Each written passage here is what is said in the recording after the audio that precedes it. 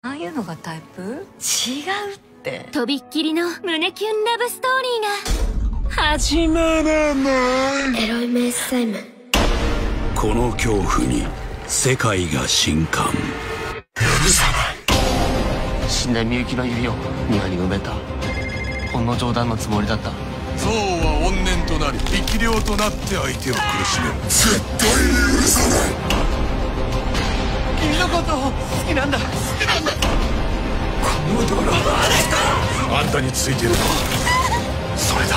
何か方法はないんですか？あの世から戻ってきてしまったものを。消滅させるしか。陰陽とさ対人エロイメッセイム死んだ者が生きてることを許してはいけないんだ。もう許して